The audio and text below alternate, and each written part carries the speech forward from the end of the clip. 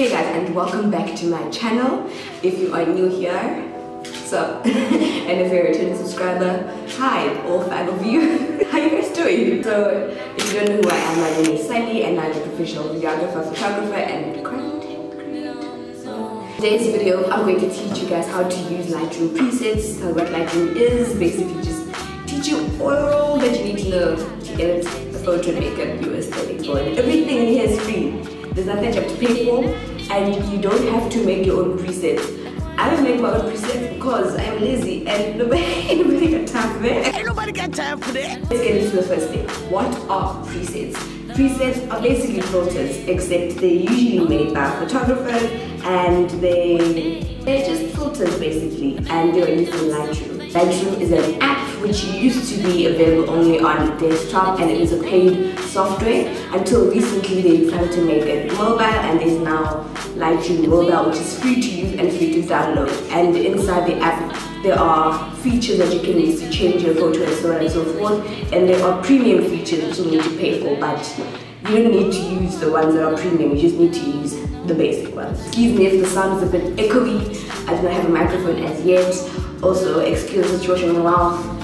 What's happening there? I made notes so that I can give you all the tea. Also please subscribe. Please subscribe and please like and follow me on Instagram, follow me on Twitter. Also, the one thing that you must note about presets is that a lot of the presets that you will find online will be made specifically on a picture of a girl who is a fairer skin tone or like light skinned girl a white girl and body and there's trees and water is lovely. But not everyone lives like that and not everyone is of fair, fair skin tone which is why when the presets are just pasted on they'll look orange. The three basic apps you will need which are all free is Google Chrome, Dropbox and Lightroom Mobile Lightroom Mobile is free to get on the App Store and I'm assuming it's free to get on the Play Store as well but I'm not sure about Android first thing you're going to do is go to App Store go to App Store go to search search Lightroom Mobile. And I've heard people pay for this. Ah! Don't pay for it, it's free. Now that you have Lightroom, then the next thing you're going to do is go onto YouTube. So let's go onto YouTube and don't mind me watching Dr. Phil. the preset that I've been seeing has been that one where everything around it is peach and all the greens are grey and all the every other color is basically washed out and everything is peach. Now, when you go onto the opening page of the Lightroom Mobile Peach presets, you will see that there are a lot of presets. A lot of people are selling, a lot of people are putting them available for free. They are quite a lot and can be quite overwhelming. So, what I suggest is I go to this girl's channel. Her name is The Pulling Show or The Pulling Show? Pulling? That's, that's her name and that's her channel what I suggest you do is just go subscribe quickly to her channel and look at all of her videos. Let's just go onto her channel quickly and just see. Her videos mostly pertain to Lightroom mobile and presets and all of that.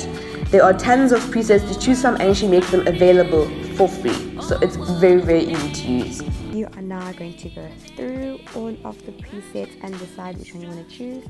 We will choose this one with Trinidad what what what I think it looks pretty nice and actually all the pieces are nice but let's choose this one for now you will then go into her description box and it is important that you look for the Dropbox link. There will usually be a Dropbox and a Drive link.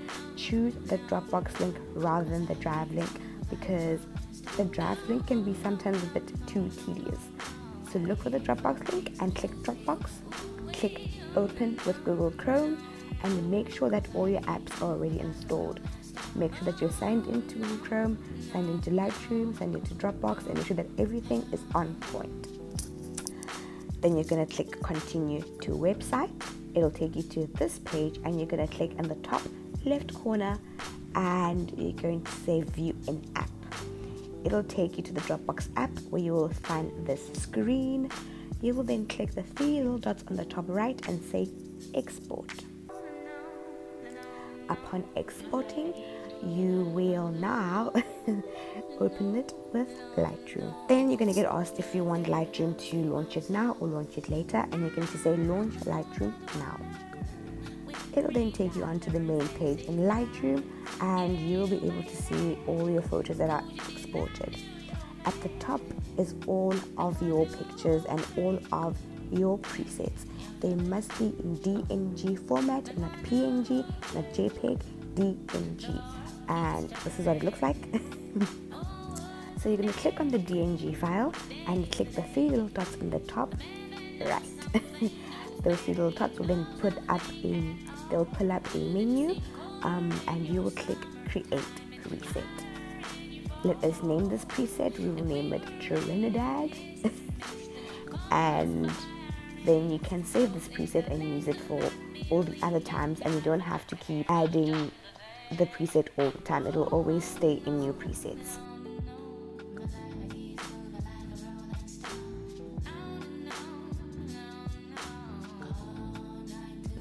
When you open Lightroom, there will be a little bit like some options at the bottom there and you will click the one at the bottom which says presets and you will click user presets all the other presets are still there but they're quite useless just, just click user presets so click in the user presets. You will then click Trinidad because that's what we named it and it will then apply your preset for you.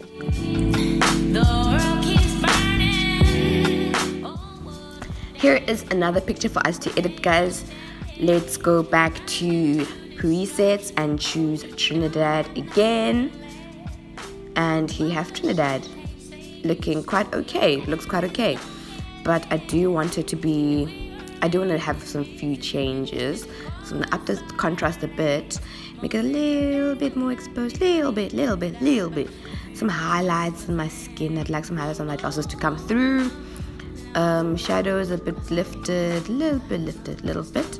This is your personal preference once again guys. This is not set in stone.